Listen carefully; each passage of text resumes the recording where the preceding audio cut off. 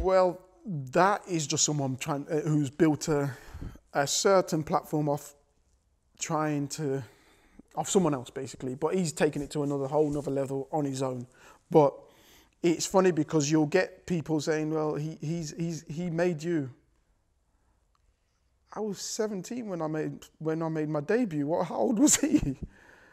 I was 16 when I made my first start, but it was a pre-season game, so it's not actually an official game.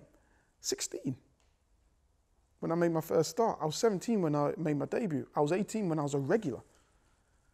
So how can anyone make you? it, but it doesn't bother me. It's not a problem to me. At the end of the day, if, if you feel that you need to jump on someone else's back to get your, yourself started and, and go on, it's, it is what it is. He's done well. He's done well for himself, to be fair. So um, it's funny because you look at them players, people, and they, you, you, a lot of people can talk here and say, "Oh yeah, yeah, I would have done better. I could have done this, and I could have done." You actually go into a football pitch, some people can't control the ball.